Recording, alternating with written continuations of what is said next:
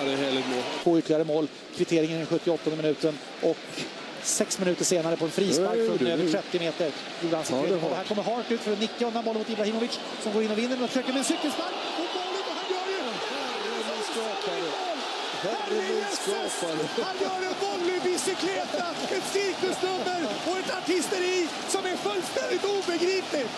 Det är fullständigt obegripligt. Fantastiskt. Han gör ett mål för 4-2 Sverige. Sitt fjärde mål i matchen som är den här arenans häftigaste mål.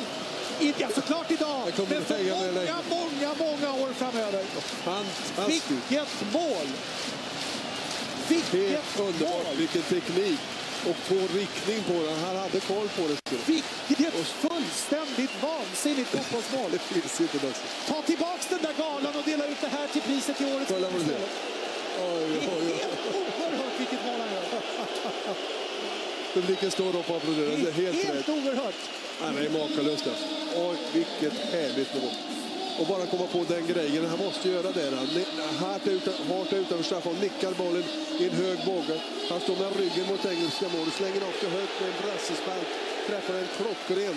En engelsman jagar tillbaka. Det tror jag är Snowcroft som försöker att nå den, men den är så pass hård och studsar upp i nättaket.